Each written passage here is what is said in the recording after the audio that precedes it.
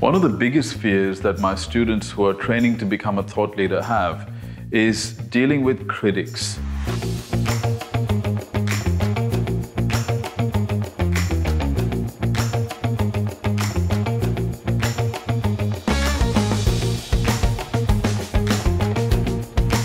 this is what I say to people. If you're putting out content and you're finding that you're being criticized by people, well, first of all, understand that's part of the journey. But that doesn't mean that you have to put up with it. There is a difference between somebody who asks the question to understand something versus somebody who asks the question to undermine you personally. Now, if somebody is asking a question to understand something and they're opposing your perspective and it appears to be critical in nature, I suggest that you respond and you make them see your perspective and certainly I would expect that if you're putting out content, you're well researched enough to be able to support your point of view.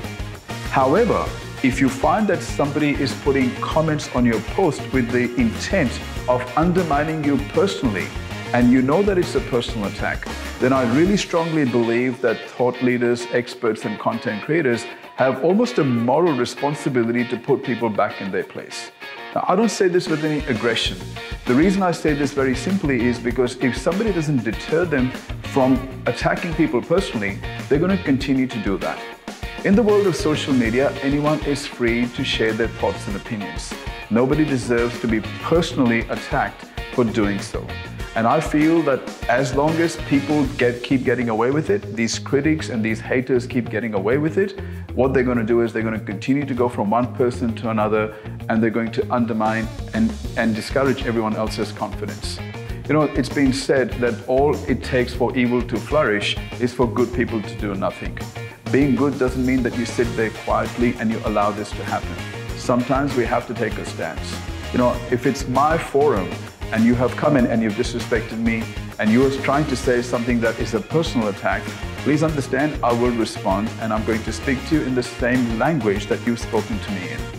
It's not a case for an eye for eye. That's not what I believe in. However, I believe that it's important for me to ensure that you don't do that type of thing because I'm strong enough to withstand it.